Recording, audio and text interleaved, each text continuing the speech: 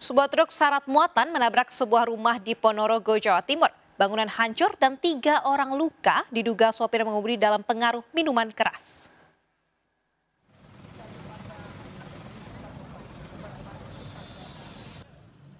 Truk syarat muatan menabrak rumah dan terguling di jalan raya jurusan Wonogiri, Desa Gandu Kepuh, Ponorogo, Jawa Timur. Teras rumah hancur, sopir truk dan dua penumpang luka-luka.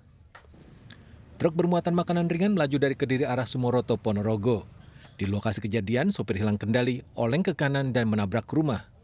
Sopir dan dua penumpang terjepit kabin kendaraan. Sopir berhasil keluar setelah dibantu warga. Dari mana ke mana Pak?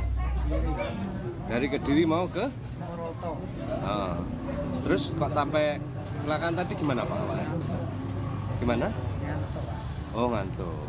Gimana? Kelelahan atau gimana Mas? Untuk jalur Ponorogo Wonogiri, alhamdulillah tidak ada korban. Untuk korban jiwa nihil.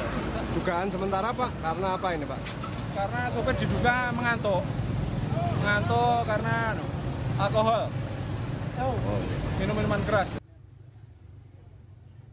Meski sopir mengaku mengantuk, hasil olah TKP polisi menunjukkan indikasi sopir dalam pengaruh minuman keras.